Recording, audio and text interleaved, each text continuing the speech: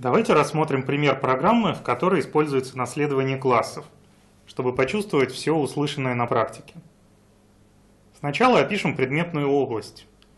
Наша программа будет работать с геометрическими фигурами, поэтому нам понадобятся классы для представления фигур. Базовым для всех фигур будет класс Shape. Здесь мы объявим общие для всех фигур свойства, такие как цвет и возможность вычислить площадь. Цвет в данном примере мы сделаем просто перечислением.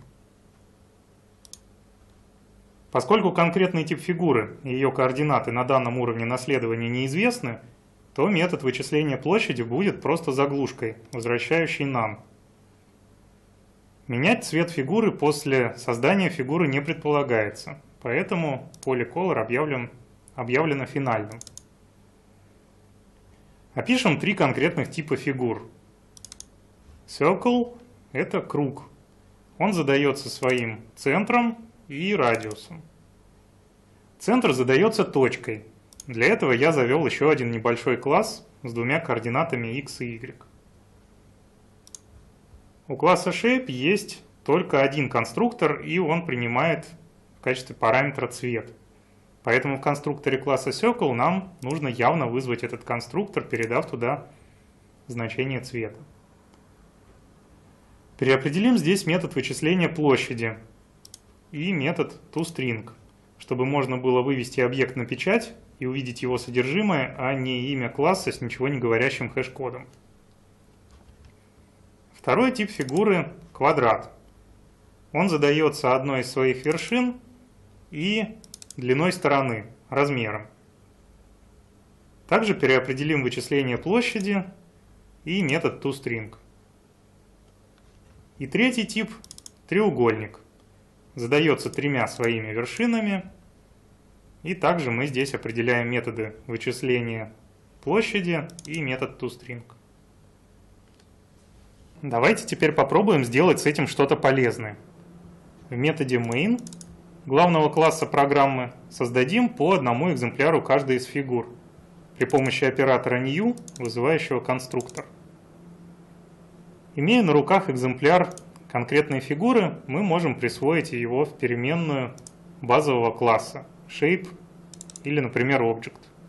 Такое присваивание всегда возможно и не требует оператора приведения типа.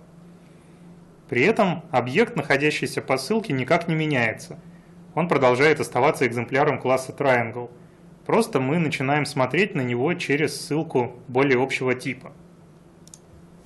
Через эту ссылку нельзя вызывать ничего специфичного для треугольника, но можно вызывать все, что объявлено на уровне класса Shape и что по определению наследования также доступно во всех подклассах этого класса.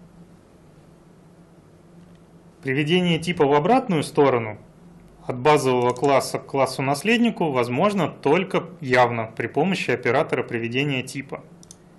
Причем если мы не угадали с типом объекта, то произойдет ошибка во время исполнения программы. Угадать нам поможет оператор инстансов. Однако частое использование инстансов – это признак неправильного использования объектно-ориентированного программирования. Один из немногих случаев, когда инстансов действительно нужен, это реализация метода equals. Давайте теперь соберем все наши фигуры в массив и распечатаем содержимое массива. Для печати массива я завел небольшой утилитный метод, принимающий массив объектов. Почему объектов, а не фигур?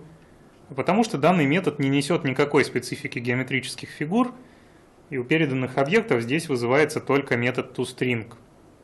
Благодаря такому обобщению этим методом можно будет потом воспользоваться для печати любых других объектов. А еще мы можем взять и найти фигуру с максимальной площадью – для этого я тоже завел здесь небольшой метод.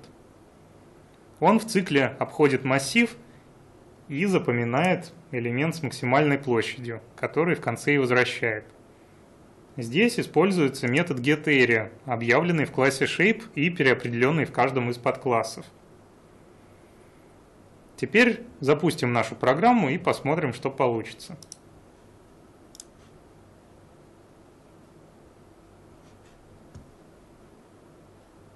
Итак, распечатались все элементы массива. и найдена фигура с максимальной площадью. Это квадрат. Этот пример иллюстрирует важную вещь. Имея базовый класс для некоторого набора родственных классов, мы можем писать обобщенный код, оперирующий этим базовым классом. Коду будет неважно, какие конкретные экземпляры ему переданы. Это возможно благодаря полиморфизму, то есть вызову той версии метода, которая соответствует объекту, находящемуся в данный момент по ссылке. Хотя наш код оперирует переменной типа shape, но по факту вызывается та версия метода getArea, которая определена в конкретном подклассе, в зависимости от того, на какой объект указывает наша переменная типа shape.